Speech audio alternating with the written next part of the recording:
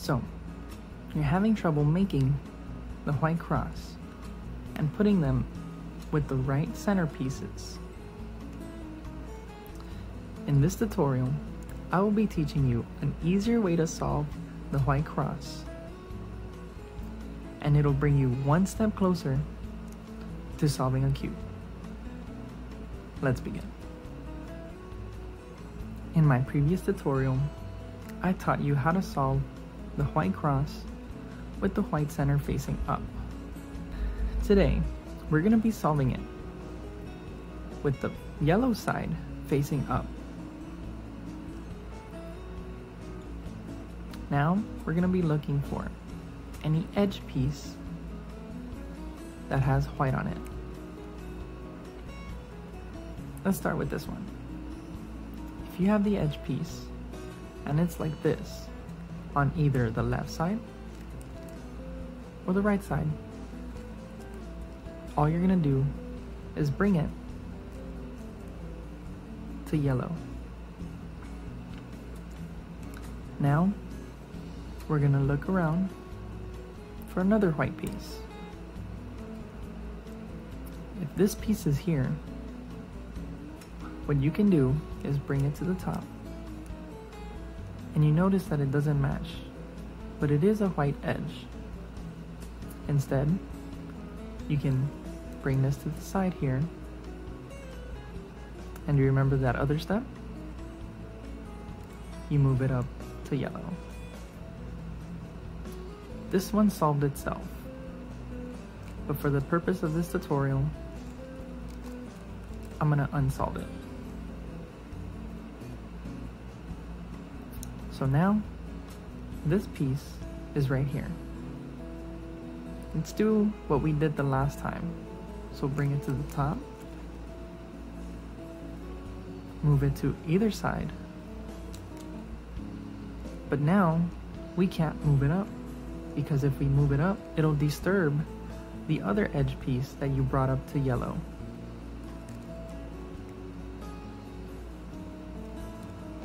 Instead, we're gonna free up a spot and then bring this up to yellow. We're gonna look for the last edge piece and it's right down here. But sometimes you can have an edge piece that's facing down. That's okay. You're not gonna want to put this edge piece where there's already another solved edge piece at the top. So if your edge pieces are like this and you turn it to the top, now they swap places. And you don't want that. So what you can do is free up a spot and then bring this to the top. Now you have all the white edge cross pieces with yellow on top. From here, you're going to pick any center. I'll start with blue you're going to turn the top layer until you find the blue piece. This is red, so let's move it over. This is now blue. You're gonna now move this to the bottom. And then we're gonna turn the cube to the right side. Now, sometimes the edge piece might already match with the center, and you can bring that to the bottom.